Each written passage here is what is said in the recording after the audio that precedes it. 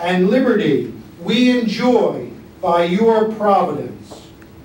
We are grateful for this moment to come together in friendship and to recognize the past service and dedication of William Arpino.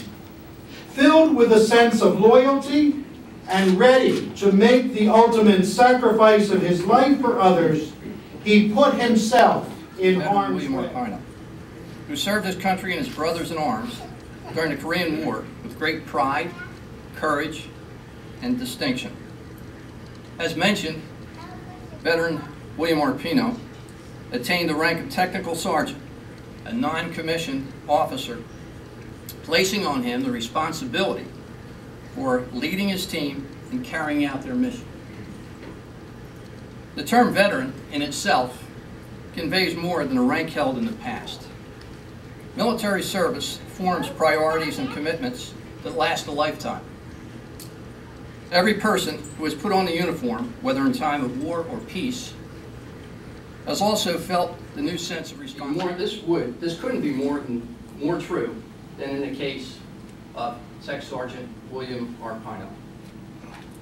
Those of us who are children and grandchildren of veterans have seen these qualities up close. Each of us is better because of the influence of veteran. And so is America.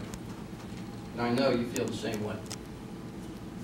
On behalf of the Veterans of Foreign Wars host members, I want to express our gratitude and appreciation for the distinguished service and patriotism displayed by you, William. The Silver Star for gallantry in action is awarded to Tech Sergeant William R. Arpino, member of Company C, 9th Infantry Division. Tech Sergeant William Arpino distinguished himself by gallantry in action against the enemy in the vicinity of Ewell, Korea on 15 July 1953. Tech Sergeant Arpino's company was assigned the mission of holding an attack was launched. Tech Sergeant Arpino led his squad, fighting for several more hours until the assailants were completely repelled.